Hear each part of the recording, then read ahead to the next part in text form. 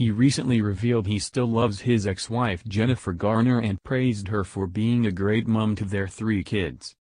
And Ben Affleck looked delighted as he joined his Triple Frontier co-stars Charlie Hunnam and Oscar Isaac at the film's Madrid premiere on Wednesday. The Oscar-winning actor, 46, put on a dapper-style display in a tailored scarlet three-piece suit as he promoted the Netflix drama. The Good Will Hunting star looked handsome in a scarlet waistcoat, paired with a matching blazer, trousers and leather shoes. He added a splash of additional color with a burgundy tie and powder blue shirt. Sons of Anarchy star Charlie, 38, looked typically hunky in a white shirt, blue silk tie and navy suit. Star Wars actor Oscar, 39, showed off his chiseled good looks in a simple crisp white shirt worn unbuttoned, paired with a rakish black suit.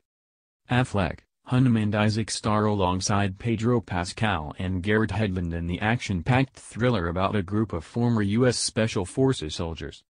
They band together to try and pull off a multi-million dollar heist targeting the head of one of the world's biggest drugs cartels.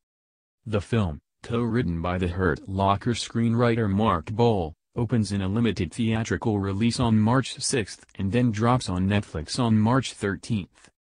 This comes days after Ben's Today interview where Hoda Kotb spoke to Ben about ex-Jennifer, saying you can tell you still love her, and Ben didn't skip a beat to answer, saying, of course, she's wonderful.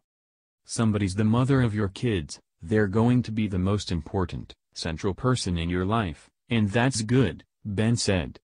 Affleck and Garner have remained committed to co-parenting their three children, Violet, 13, Serafina, 10, and Samuel, 7.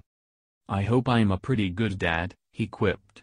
I certainly try very hard. I'm lucky they've got a great mom, and she helps out a great deal with making sure that we co-parent in as good a way as possible. Dads are so important to kids and it's our responsibility to be there for them, to be present, to be mindful, to be attentive, to be part of their lives, to be as in it as moms.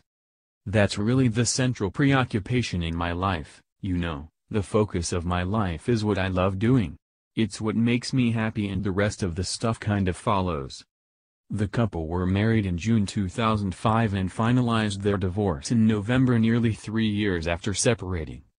And Jennifer has remained a positive figure in his life, even staging an intervention in August to help Ben into rehab following a challenging summer where he ended his relationship with SNL producer Lindsay Shookus before sparking a fling with model Shauna Sexton.